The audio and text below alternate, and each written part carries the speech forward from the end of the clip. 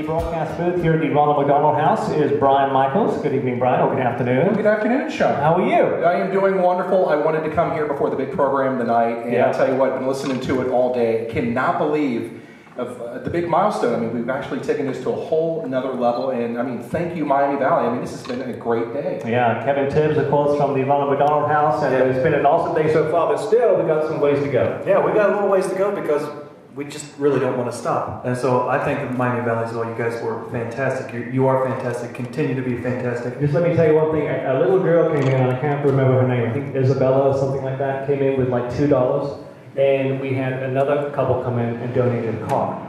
So car. It, yes. So from two dollars to a car, it, it all helps. Yeah, whatever you can reach down and get, um, it will go to use, and we appreciate it. All right. And I just want to give a little shout out to Anthony Vanoy. You might have uh, remembered I mentioned him earlier. He met Michael's challenge, and he uh, brought in. He called in $125. right. So, Wow. Anthony, thank you for that so much. All right. Good job. I, I'm smelling something really yummy.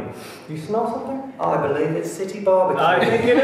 Yes. You did that so well, too. So yeah, I do want to um, introduce James from City Barbeque because he has supported us today. He's offered us coupons. All right. And, um, it's a new friendship, and we can't wait to explore a little more. And he's right here in the studio, live studio at the house. So James, um, here you go. Talk to Sean a little bit.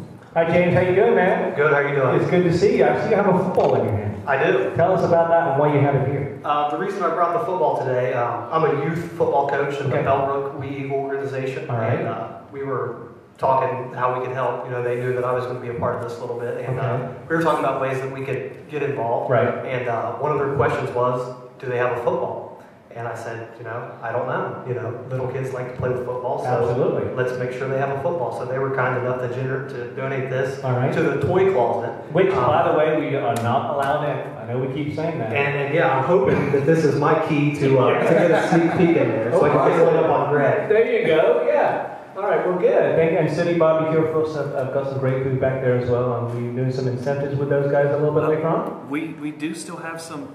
Okay. We do still have some gift certificates. Yeah. Use the microphone. Yes, so, so, I, you know, and I don't really have to ask, but if you love City Barbeque Right. and you want to do something really great for a family that you've never met, uh, you could just call 535-CARE, and uh, the next six callers, uh, for a donation of $10, I will give you a gift certificate for $10. So that's Hey, equal nice. in value, Wow. tax deductible. But you have to say City Barbeque. You've got to say City Barbeque. Yes, Exactly. That was more Michael Caine.